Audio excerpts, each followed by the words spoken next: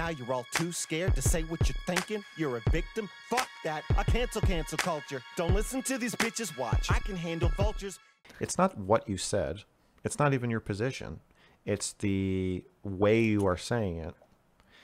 As I said, if you if you said Max, I think you have a I think you have a serious problem here. I'm worried about you.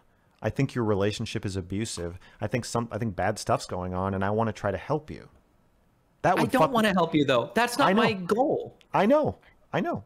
But do you see how you're now changing the subject, but if we go back to the subject we were just talking about, you no, can see how. No, the difference is you engage. Can you guys just shut the fuck up and no, stop interrupting no, no, me? For the, I literally I, can't. I, no, I don't. I don't. I don't want to do this anymore. I, I, I can't talk about this with. I, I need erudite. I need you to leave, or I need you to let me finish talking when I'm talking. Mr. Girl and Destiny, who we'll refer to as Max and Steven, had interesting conversations to observe from a distance. A lot of people believed Steven's goals in these conversations was simply to farm people like Max because they make for good content. At the time, Steven wanted to develop more as a person, and that drive for autonomous growth can come with an appreciation for others who look to be on similar but unique paths. Steven would describe these people as interesting, others describe them as mentally ill. Earlier, I mentioned Dabrowski's theory of positive disintegration for the level memes, but there is something to the theory that can explain why people like Max and others with mental illness are so interesting.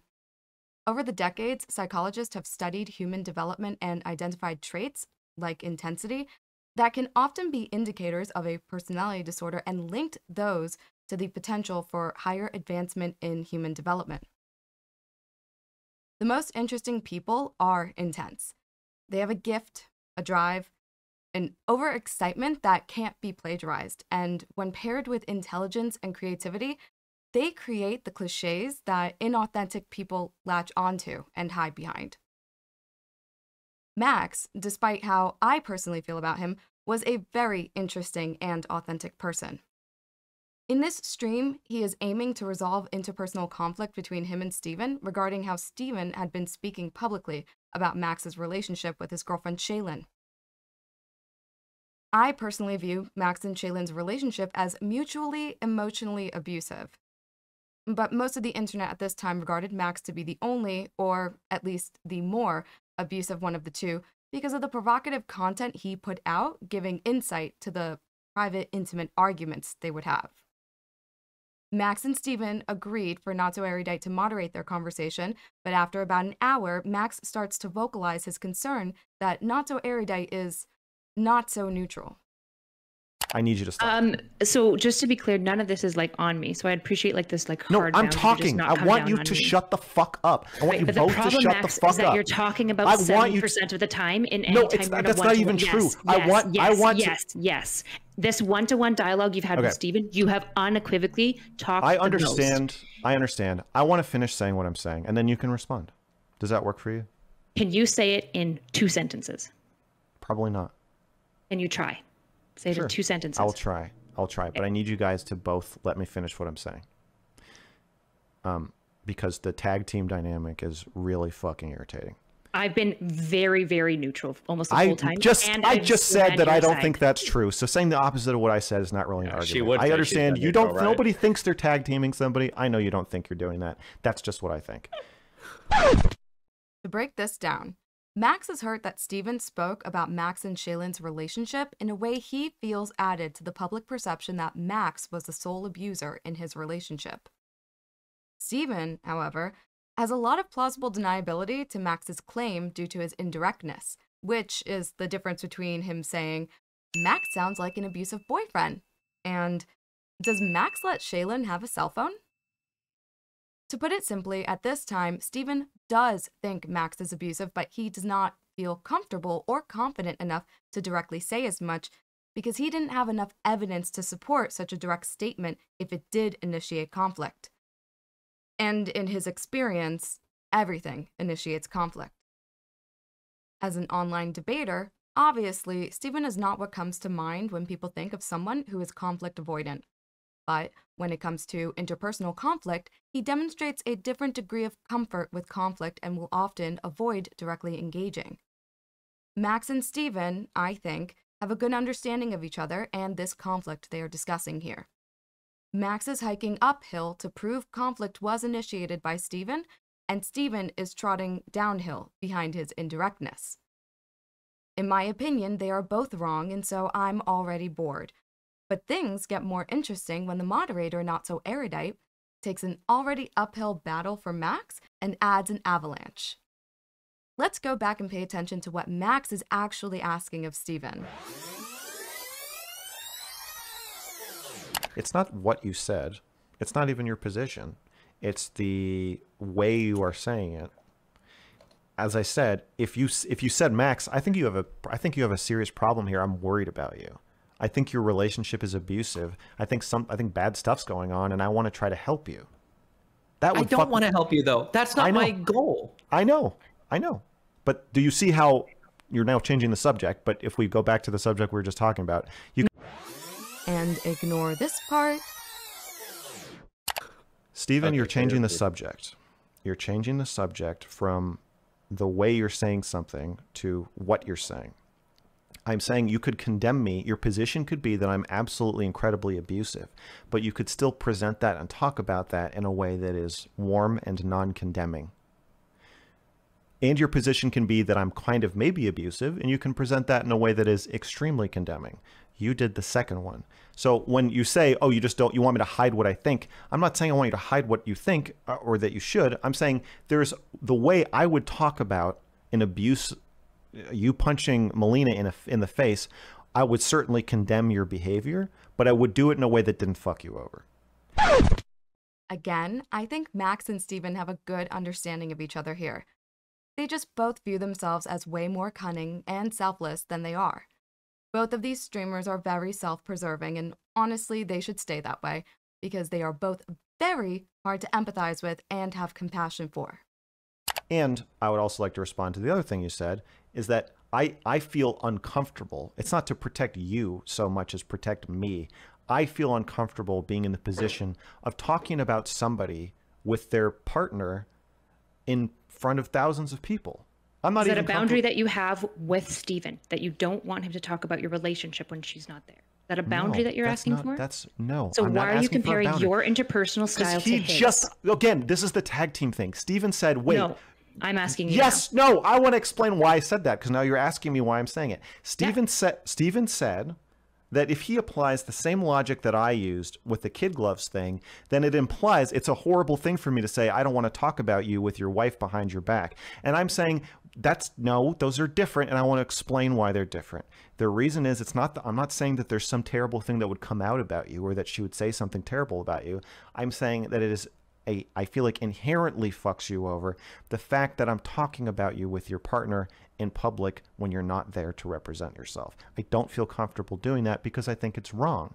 But you, asshole, want Wait, to you, okay. Stephen, want to interview Shaylin uh, about a, a conversation where you're going to fuck me and you're going to fuck me in the interview with her. You're going to do the same fucking underhanded, cold thing and try to make me look as bad as possible. Okay. And you're Do you think to... you're interpersonally better at relations than Steven is? Do you think your interpersonal style, the boundaries, the way that you try to protect the people that you love is overall better than Steven's? Anyone else reading way too deep into Max and Steven testing each other's friendship with how much they can pry through conversations with the other's partners that could reveal very one sidedly unflattering ideas about their friend? You know, if those conversations were to be had with no empathic concern for the subject of scrutiny? Me neither. I was literally on the same page as Not So Erudite, just thinking if I wanted to moderate and keep this conversation fair and on track, right now would be the perfect time to cut off Max and ask if he thinks he's better than Steven at friendships. Okay, hold on. Let me not be so indirect. Keep in mind that at this time in Steven's career, he is on a building friendships arc, almost initiated by Not So Erudite. So the idea that she would even wait a question that implies Steven is good at maintaining friendships is just willful ignorance. But Max engages with her question nonetheless and manages to entirely avoid the bait of comparing his ability to Steven's. That does not, however, stop Not So Erudite from continuing to dismiss Max's concerns while Steven gleefully plays video games. Um, I think there are no, overall, I don't know, but I think there are certain things. It's not even better. It's just it's just what works better for me. Like if if you don't if you if you don't like certain things or you don't want certain things, then the way you live is better for you. I, but then so, why don't you just tell Steven what your boundaries are, and then Steven gets to decide whether or not he's willing to work within those. I did. I set a boundary. I said I don't. Want, I said Shaylin is uh, not going to come on stream. I'm not going to have her on stream. Right. I never tried to pull her uh, No, you know, you know, me saying she's not going to come on stream, and I want to protect her from the chat. If the next thing, if five minutes later you say, "Is it true that you don't let her have a phone?" I don't know if that is totally respecting my boundary. I think that you kind of fucked it's me over a little bit. Unrelated. Did he uh, respect? Uh, you may think it's completely unrelated, but I don't think it is. respect your boundary? An effective mediator who is interested in Stephen maintaining his friendship would not add to his indirectness by speaking and objecting on his behalf. Avoiding being clear and direct with Max is what has gotten Stephen in this situation. And the way Not So Erudite jumps to aid him makes that indirectness feel more aggressive. Not So Erudite feels like an attack dog, but she's not. She's just very aware of how uncomfortable accountability is and doing a really good job of trying to help Steven avoid it. Did he respect uh, You may think it's completely unrelated, but I don't think it is. respect your boundary about not bringing Shaylin on stream. Is that correct? Okay, if I ask my coworker, no, answer office, the question. Don't weasel out. Answer the question. I already said no. It's not respecting my boundary. No. How not?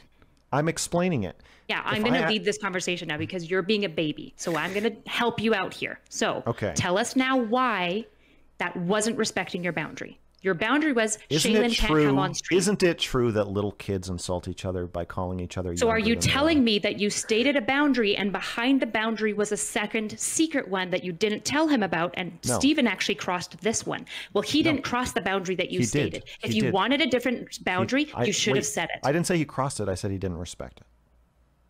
What's the difference? I'll tell you. If I ask a coworker on a date and she says no. And I say, oh, okay, well, I accept your answer is no. And then I go to the lounge and I say, Sarah's pussy stanks as loud as I can. While I would be technically not crossing her boundary, not forcing her to go on a date with me, I'm not exactly respecting it either. They're wholly different boundaries. The first boundary is I don't want to go on a date with you. And then there's a lot of social convention boundaries as well. For example, typically when people say, no, I don't want to go on a date with you, while that's unrelated to what you stated, most people also don't want people making loud, co- like Absolutely. negative comments about their there's another there's also another They're boundary different that's crossing. boundaries well I, do you, different boundaries okay, do you so understand I, that well okay so in my mind if the two behaviors are linked to one another then the person would probably feel like their sexual boundaries about saying no to the date were also not being respected because they're saying, well, well if I say no to a date, then somebody no. yells about my put. Well, they would have felt that a different boundary was crossed. Okay. They would have been like, "Yeah, he didn't force me to go on a date, but That's then he just, did okay. say really well, creepy I'm stuff about you, my vagina." okay, I'm telling which you, which is typically an implied boundary, right? There's this some is, social contracts that we work with. Yes, I and get, one social get, contract yes, is probably don't perception. loudly say shit about people's genitals. It's, it's really These are separate to, boundaries. It's, one of them is implicit, and one of them is explicit. Kyla, it's really you hard respected to, the explicit one. It's really hard to argue the implicit one. It's really hard to argue that two things aren't connected. So you can just say that I'm wrong for connecting them, but that is how I feel. I'm not saying that they're unrelated. I'm saying they're two separate boundaries. And what you're saying to Stephen is this was my boundary and you didn't respect it. But yes. he did. He didn't respect your implicit boundary that no, was connected to I that. know. I know. We we both clear are clear on where the other person is, and I have no no further comment about this. I am also going to have no comment about Not So Erudite's flawed understanding and application of boundaries right now. We will discuss her superiority complex and manipulative communication style in another video. This video is about hypocrisy. And right now, Steven is finally going to speak. Surely he will make a direct statement and not just ask a question Max has already provided the answer for, and then laugh when Not So Erudite cuts in to declare everything to be Max's fault because Steven is a retarded child. I mean, not a mind reader. Steven is not a mind reader. Yeah, For all the implicitness, then am I? So do I just am I not supposed to bring up anything related to Shaylin ever, just so I can understand? No, I like talking about Shaylin with you actually.